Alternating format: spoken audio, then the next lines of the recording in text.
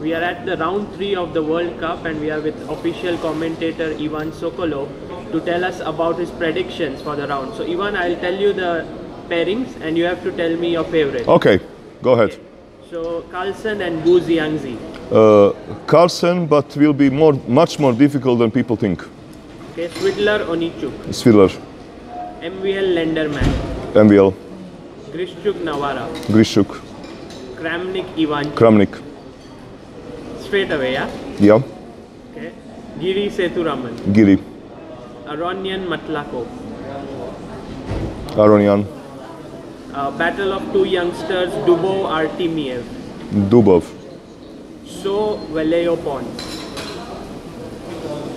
Valejo, Okay. yes, Nepo Jobava. Jabava, Nakamura Fedosiev.